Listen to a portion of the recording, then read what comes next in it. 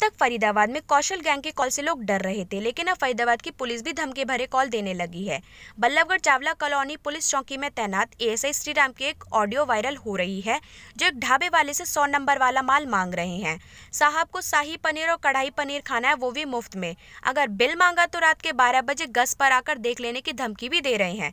इस बारे में ढाबे मालिक का कहना है कि पिछले कई महीनों से पुलिस कर्मियों ने फ्री में खाना खा खाकर उन्हें परेशान किया हुआ है। ऑडियो ये है कि यहाँ पर जहाँ मैं हूँ, ये जनता मेडिकल स्टोर है, उसके साथ में जनता फ़ूड एक्सप्रेस है। और यहाँ पर तीन चौकी लगती हैं, तीनों चौकों के बीच में ये है, पर है ये, और रात को ये पुलिस वाले आके परेशान करते हैं हमें, फ्री में खाना चाहिए इनको। ये भगत सिंह चौकी है, चावला कॉलोनी की, और सेक्टर तीन की है, और ये आठ सेक्टर है, ठीक है। रात को ये आते हैं, और इनको फ्री में खाना चाहिए।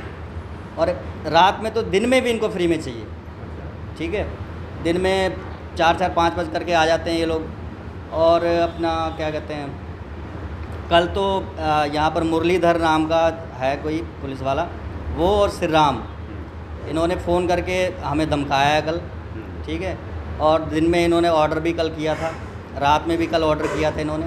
ये शाही पनीर बटर मसाला लच्छा पराठा पैसे नहीं देते, पैसे बिल्कुल नहीं देते एक रुपये बल्कि धमकाते भी अगर पैसे मांगा तो खैर नहीं तुम्हारी।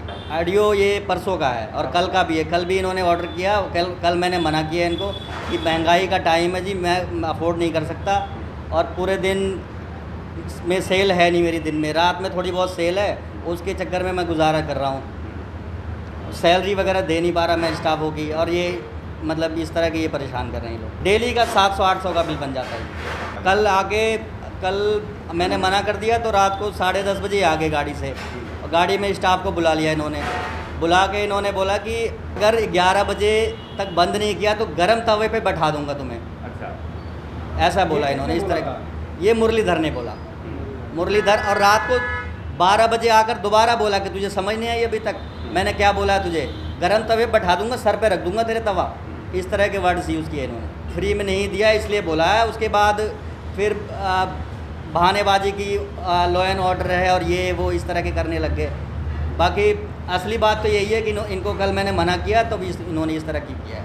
डेली यहाँ पे मर्डर, हत्या, लूट हो रही है और चौकी थानों में आज एक वीडियो वायरल हो रही है, जिसमें जो स्थानीय एक पुलिस वाला है चावला कॉलोनी चौकी से, वो एक रेस्टोरेंट ढाबे वाले को धमका रहा है कि अगर आपने खाना फ्री नहीं भिजवाया तो आपको तय पे बिठा दिया जाएगा। इस तरह के लोगों को अगर विकास पुरुष कहा जाएगा तो मैं तो ऐसे लोगों को विनाश पुरुष कहूँगा, जिन्होंने इस बल्लभगढ़ का बेड़ा गर्क कर दिया।